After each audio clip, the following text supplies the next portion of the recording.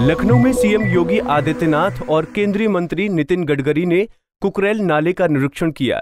निरीक्षण के बाद सीएम योगी ने कहा कि गंगा सफ़ाई अभियान में कई नई तकनीकें अपनाई गई हैं, जिसके तहत कुकरेल नाले पर तीन एमएलडी क्षमता का सीवरेज, शोधन, संयंत्र, जियो ट्यूब तकनीक पर काम करेगा। या बड़े महानगर हैं, उनके शिविर को एस टी लगा करके शुद्धिकरण का कार्य करना। एसटीपी में कैपिटल कॉस्ट बहुत ज़्यादा है। दूसरा उसका जो रिकरिंग खर्चा है, वो भी काफ़ी ज़्यादा है। इसलिए हम लोगों ने अन्य तकनीकों का भी उपयोग किया है। यह एक मॉड्यूलर विधि है। इसके माध्यम से आपने देखा होगा, नाले में गंदा पानी और दूसरी तरफ़ जब इससे गुजारा जा रहा है तो जो पानी आ रहा है, बहुत शुद्ध आ रहा है।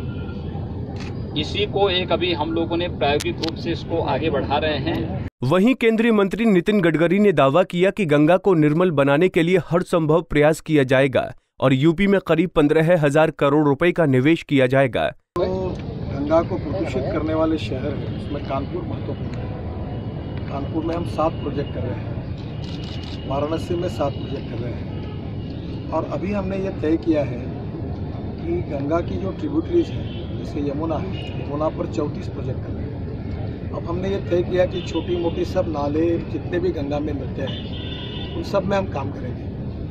अभी हमको काफ़ी नए डीपीआर भी यूपी सरकार ने तैयार करके दिए हैं उसको तैयार कर रहे हैं। हम एक भी नाला नहीं छोड़ेंगे और एक भी नदी नहीं छोड़ेंगे। तो हमारा जो पहला बाईस हज़ार करोड़ का जो प्लान था, अब अट्ठाईस हज़ार, तीस हज़ार करोड़ तक गया है।